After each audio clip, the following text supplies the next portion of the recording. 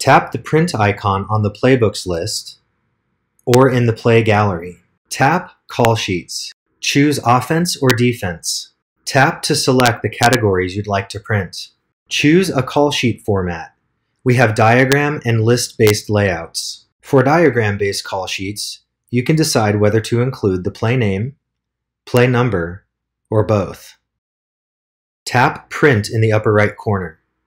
If you've selected a large number of plays, it could take a minute or two for your device to render the print preview. You should now see the system print preview. Depending on your device and printer settings, you may be able to select a page size and choose portrait or landscape orientation. Print, or use your device's options to save or email a PDF.